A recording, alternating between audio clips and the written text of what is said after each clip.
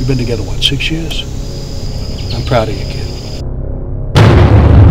Now, let's go see what Joey has for us. Monday, Professor. That's five days from now. 17 grand. You got something for us, boss. A mission. Go out the back door and you'll see a trail going into the woods. Follow about 200 yards and you'll come to a clearing.